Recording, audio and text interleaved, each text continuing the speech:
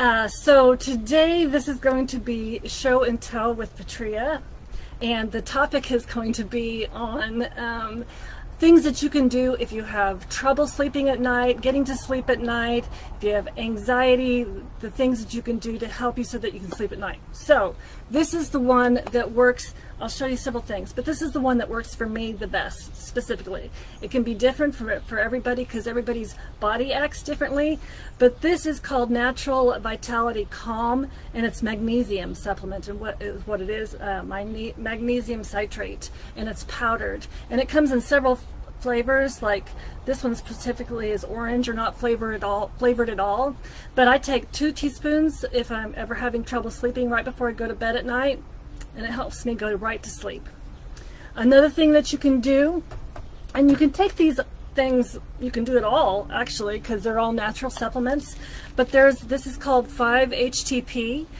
what this is is a precursor to serotonin so it helps to produce more serotonin in your body and helps you to calm, be calm and helps you to sleep. Another thing that you can use is melatonin.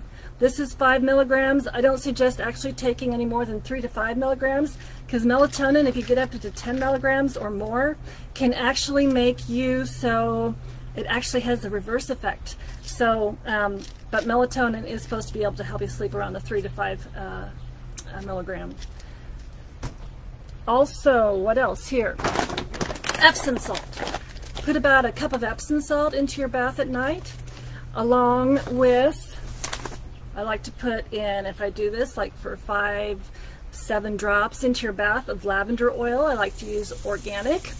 Um, which that's very calming. The magnesium and the Epsom salt relaxes you and you can sleep like a baby if you're using magnesium salts. Um, another thing that you can use, and these are, this is my favorite brand of teas if you like to drink tea, um, traditional medicinals. This is a chamomile, it's calming, helps to calm you, and that can help you sleep. And the other thing is lemon balm. That's also does the same exact thing as chamomile does with a lot of other health, health benefits as well. But in this case, we're talking about helping you to be able to go to sleep at night.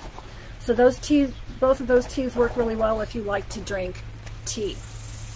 The other things that you can do is be sure that you turn off all electronics about an hour before you go to bed because that helps you to get into the your melatonin, helps that to start to ramp up um, so that you can go to sleep at night because if you have those electronics on, it shuts down uh, the uh, production of melatonin, which you start producing when the sun starts going down.